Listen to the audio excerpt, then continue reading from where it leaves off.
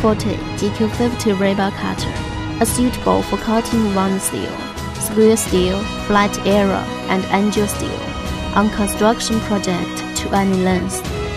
Can cut in 32 times per minute.